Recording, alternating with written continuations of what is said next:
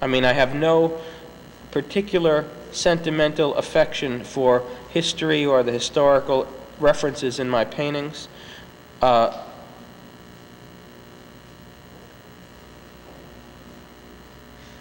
I have no particular connection to these pots, to plates.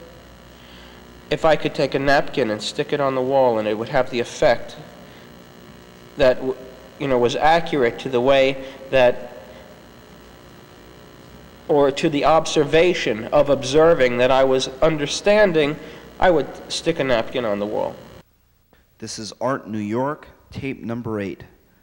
We will begin at a show of recent works by Ellsworth Kelly that were exhibited at the Leo Castelli Gallery on Greene Street. Then we will travel uptown to the Whitney Museum where we will look at a large retrospective of works by Chuck Close.